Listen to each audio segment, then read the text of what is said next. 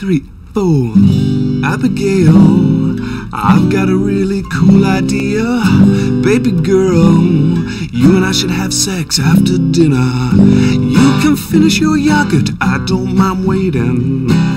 But once you've finished your yogurt, let's go upstairs, do some nailing. Sex, uh, yeah, something I've longed to do with you. Sex, uh, imagine me entering you. Abigail, Abigail, Abigail, Abigail, Abigail, Abigail, Abigail, Abigail, Don, Abigail, Don, Don. What? It, it's not. Melodic enough? No, it's not. The right tempo? It, it's not. Romantic enough? I think it's inappropriate, Don. Really? I mean, I'm not hugely acquainted with matters of sexual relations, but I do know there are certain things you're not supposed to do when you invite someone over for dinner. Like what? So, what's for dinner? Oh, there's some bangers in the fridge. I'm serious.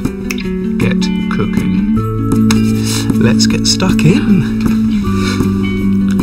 Mm. Oh, uh, I just couldn't think of anything to wear. So, uh, you not hungry? Mm. I'm just gonna do a shit. Oh yeah, you like? Oh yeah, I bet you do. Oh yeah, how about that? Oh, oh. Ooh, that was like giving birth to an otter.